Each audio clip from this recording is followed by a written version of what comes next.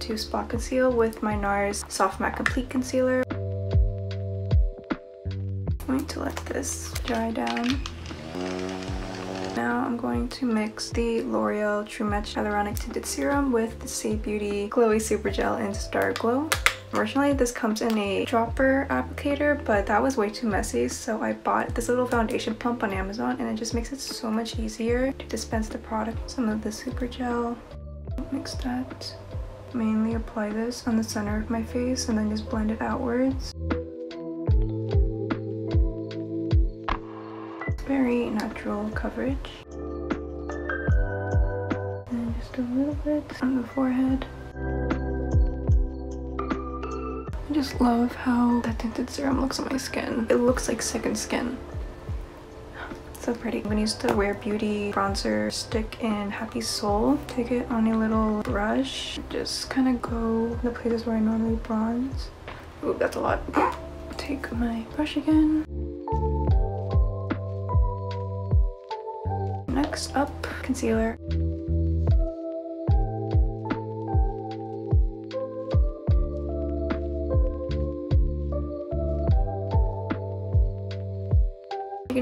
Two blushes today. This is the Rare Beauty Liquid Blush in Virtue. It's one of her new shades. Glossier Cloud Paint in Storm. I'm actually gonna mix it with the same Super Gel again just to kind of sheer it out and make it easier to blend. Like that much. I'm gonna place my blush in this area and then blend inwards.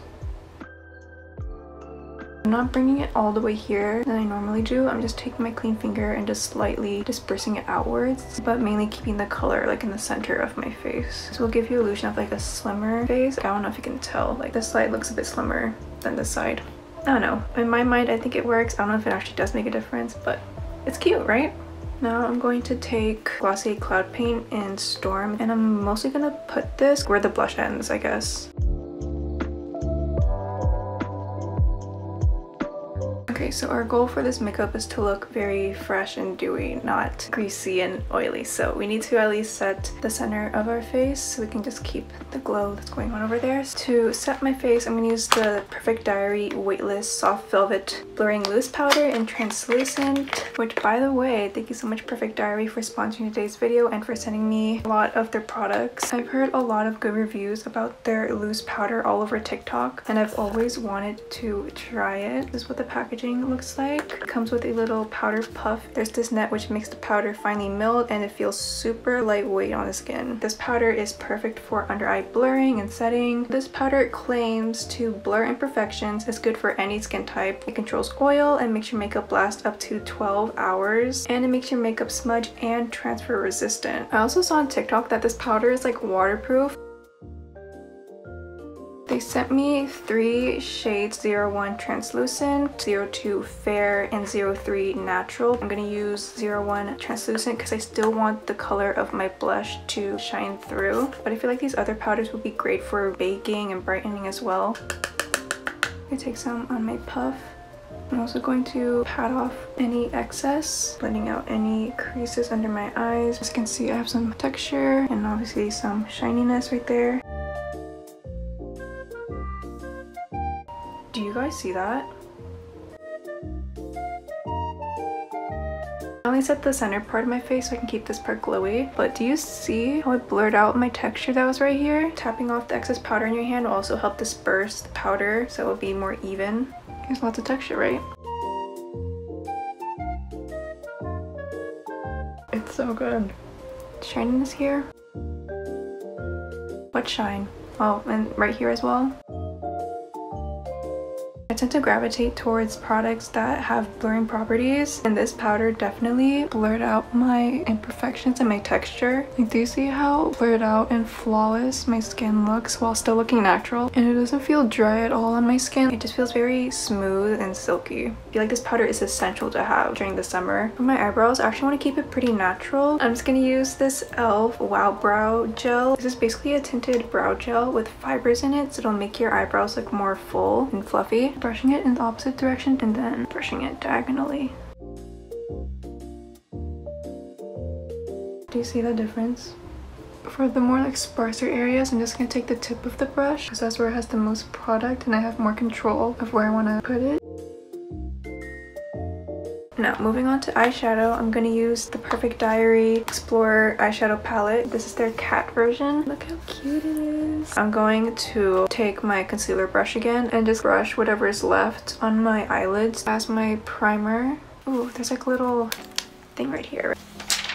I'm gonna use the brush that it comes with. I'm gonna take the color Dry Food as my base color. It's kind of like this khaki color.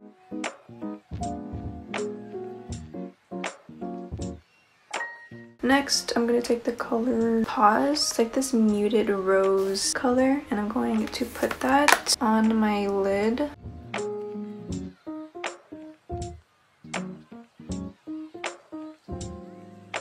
With the smaller brush end, I'm gonna take Ears, which is this like brown color, smoke it into my lash line, drag it out, kind of like that on the outer part of my eye. For eyeliner, I'm actually going to take the shade Silver Vine, which is this really dark brown. Use my finger to sharpen it. Line this inner part of my eye as well, and then extending it to my inner corner. Now that we're basically done with the eye makeup, we're gonna move on to mascara.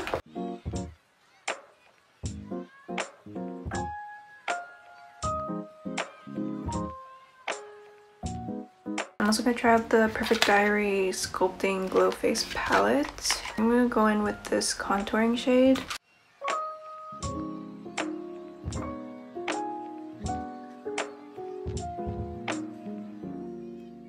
I need to bake around my nose, so I'm going to use the powder again.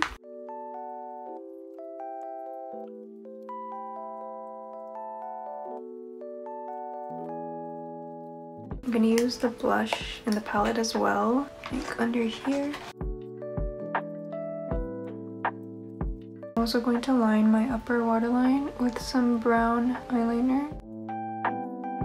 I'm gonna spray my face first before I put on the highlighter so it can stick on better. Highlight this part of my nose. Oh, whoa. I'm gonna use some of this highlighting balm from Merit. It's basically kind of like a face gloss. I'm gonna put this like in the center of my eye right here.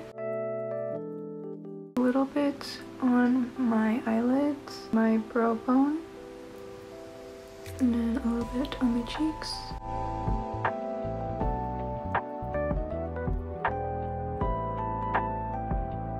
Perfect Diary also sent over their new tea extract glistening glossy lip stains and I'm super excited to try these out. This is what the packaging looks like. It's flat and rectangular. This is 301 Jasmine White Tea.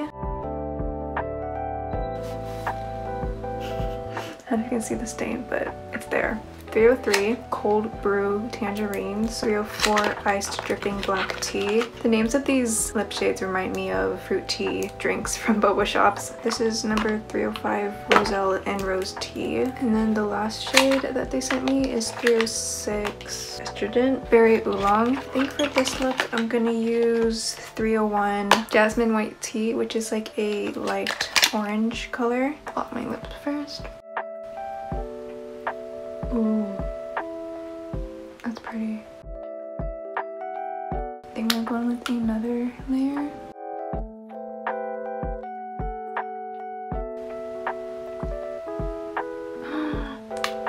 that's really cute. Apparently if you wait 15 seconds after you apply the lip stain, it will develop this like film on your lips that will plump your lips and become smudge proof, waterproof, and transfer proof. So kind of want to test that out. I have my mirror here, clean mirror. That's so cool. Only the gloss came out. And the color is still on my lips too.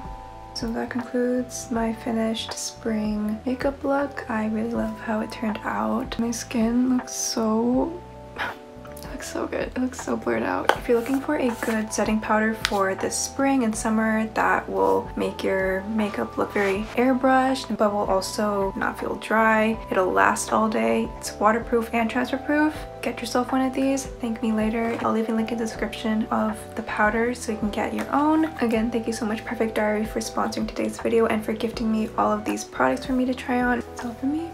Bye. Love you.